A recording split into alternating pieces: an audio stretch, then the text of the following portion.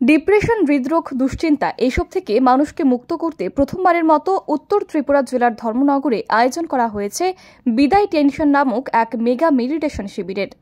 রবিবার সন্ধ্যায় ধর্মনগরের বীরবিক্রম ইনস্টিটিউশন ময়দানে নয় দিনব্যাপী আয়োজিত এই মেগা মেডিটেশন শিবিরের শুভ উদ্বোধন করেন রাজ্য বিধানসভার অধ্যক্ষ তথা ধর্মনগরের বিধায়ক বিশ্ববন্ধু সেন।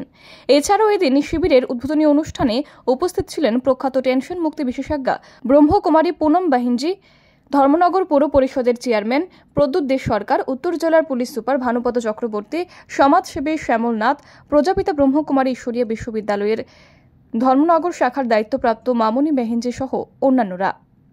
এই শিবিরের মূল বক্তা হিসেবে আমন্ত্রিত হয়ে ইন্দোর থেকে এসেছেন টেনশন মুক্তি বিশেষজ্ঞা ব্রহ্মকুমারী পুনম বেহেনজি শিবিরের প্রথম দিন ছিল চিন্তা মুক্ত জীবনশৈলী, দ্বিতীয় দিন থাকবে খুশির উৎসব, তৃতীয় দিন আত্মজ্ঞান, চতুর্থ দিন আনন্দ উৎসব, পঞ্চম দিন পরিবর্তন উৎসব, ষষ্ঠ দিন হবে ধ্যান উৎসব, সপ্তম দিনে রয়েছে অলৌকিক জন্মোৎসব, অষ্টম দিন মহাবিজয় উৎসব এবং নবম তথা শেষ দিনে থাকবে বিদায় টেনশন উৎসব।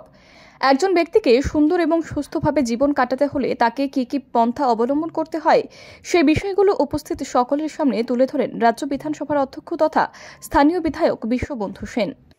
মানুষের জন্মের সাথে সাথে আমরা যারা হিন্দু, আমরা গীতায় দেখেছি, পড়েছি, জন্মের সাথে সাথে আমাদের নির্দিষ্ট হয়ে যায় আমাদের ভবিষ্যৎ।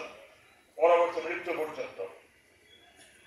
তো আমাদের এই চলার পথে যদি আমরা দুটো কাজ আছে, একটা পজিটিভ একটা নেগেটিভ আমরা যদি পজিটিভ কাজে বেশি থাকি, এবং সেই পজিটিভ কাজে থাকতে হলে আমাদের ঈশ্বরের নাম ভালো কাজ, সুপরামর্শ, সুকাজ করার পথে যে বাধাগুলো, সে বাধাগুলো অতিক্রম করার জন্য আমাদের নিয়ম হচ্ছে গিয়ে ঈশ্বর স্মরণ করা তিনি যেভাবে করেন।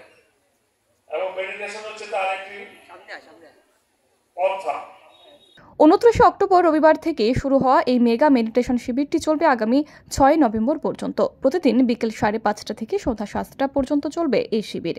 এদিন শিবিরের উদ্বোধনের পর সদ্য প্রয়াত ত্রিপুরা তথা বাংলাদেশের মুখ্য সঞ্চালিকা প্রয়াত ব্রহ্মকুমারী কবিতা বেহেঞ্জের প্রতি শ্রদ্ধাঞ্জলিও অর্পণ করা হয়।